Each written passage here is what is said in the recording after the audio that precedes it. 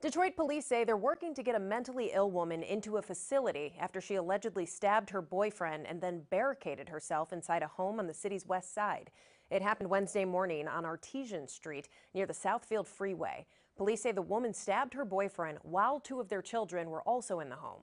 As of this afternoon, no word on the man's condition, but we have been told the kids were not hurt. Police say the woman has a history of mental illness and refused to take her medication. The standoff went on for several hours before she surrendered peacefully to police.